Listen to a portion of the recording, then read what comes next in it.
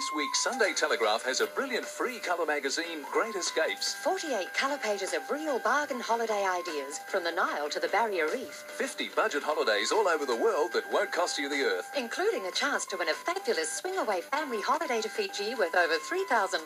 Plus, the Swedish Plan, an ACTU move to limit strikes and increase productivity based on the Swedish blueprint. It could change the face of industrial relations in Australia. The Sunday Telegraph. The biggest paper on Sunday.